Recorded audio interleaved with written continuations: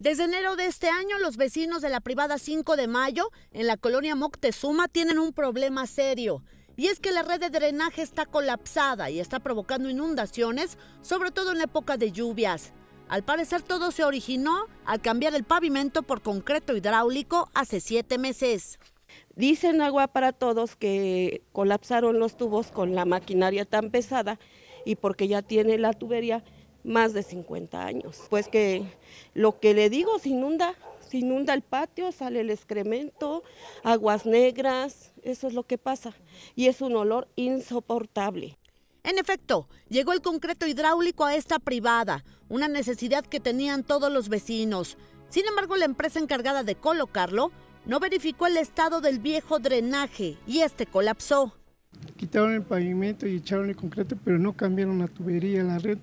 Y el problema fue que cuando tendieron el, el hidráulico, la tubería, como ya tiene muchos años, más de 50 años, el tubo de, de cemento ya se deshace solito, se tapó por dentro. Así que al llover, todas las aguas negras de esta calle salen por alcantarillas, atarjeas y baños, inundando no solo la calle, sino los patios de las casas.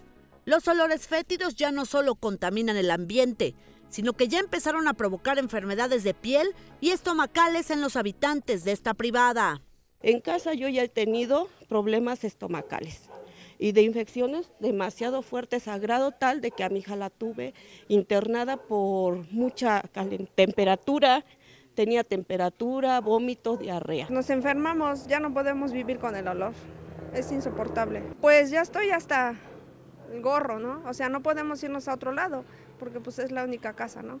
Los vecinos han reportado este problema innumerables veces a Agua de Puebla y la única ayuda que les han brindado es mandar a desasolvar el drenaje. Sin embargo, esto solo es un paliativo, ya que días después las inundaciones regresan con más fuerza. Los vecinos se dicen cansados de vivir en la suciedad y que nadie los tome en cuenta. Saben que para resolver la situación tendrían que retirar parte del concreto hidráulico para llegar al drenaje lo que parece imposible de realizar por el costo que ello supone. Sin embargo, afirman que no pueden vivir así. Y los ingenieros dijeron esto, que no tenían tiempo, que no tenían tiempo para este, ya tenían que entregar obras.